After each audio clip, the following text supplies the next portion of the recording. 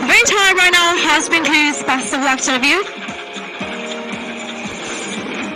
Yes, Toast, slay my life queen once again. You are the literary queen. We have three mega lucky numbers. We have 0 and 6 with 100, 29 with 150 as a mega multiplier. Best of luck.